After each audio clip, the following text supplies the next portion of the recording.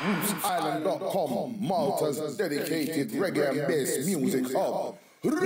Log on, log in, keep it locked.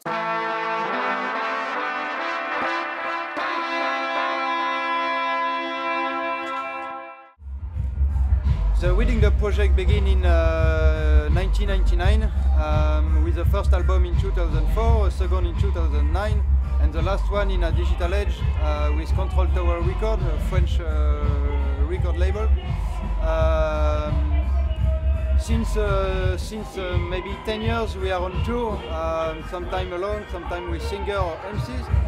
Uh, we have chance to travel across the world and uh, to play in many countries.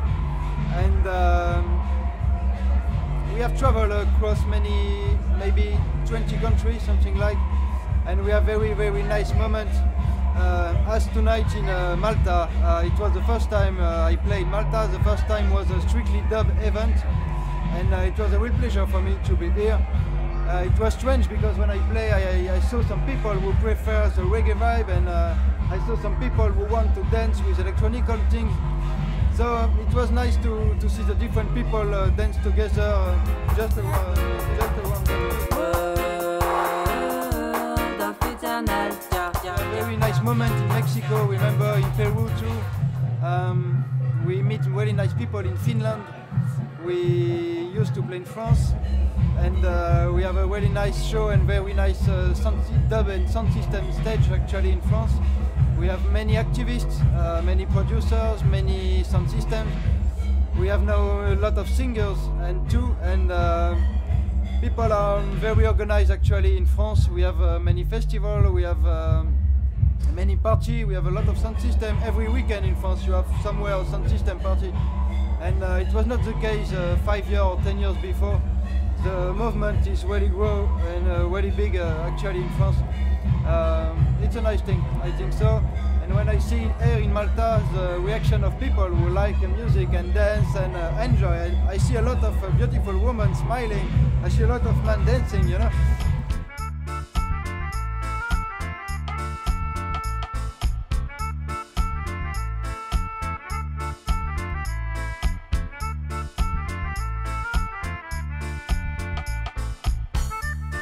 Started music when I was a youth. Um, I started to play keyboard and piano. And um, in the end of the 90s, in France arrived techno music, electronical music. At this moment, I decided to try to make electronical music with a computer. I make some electronical things like techno or things like that. And in the same time, a very good friend of mine um, run a reggae band. And one time, uh, it was just a joke between uh, my friend and me. I mix his music, reggae music, and my music, electronical music.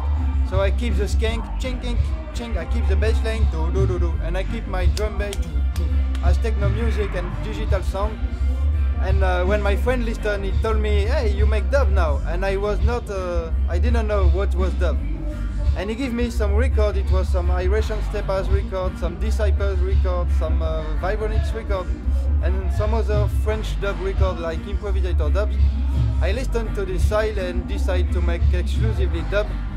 Um, I had a great pleasure with electronical music to mix uh, some uh, digital sound and to make people dancing. You know, it was funny, but. um I was missing in uh, electronical music um, something like a message, something like a, like a power of the world, and I can't think it in uh, reggae music. That's why um, I decided to continue in a dub movement because uh, for me dub is reggae music and reggae music is just dub. It's the same family. Um, I like the history of uh, reggae music. It's a long, long time uh, music. Uh, that's why I'm playing dub now. I like uh, to have the energy of electronic music and to have message and history of uh, reggae music.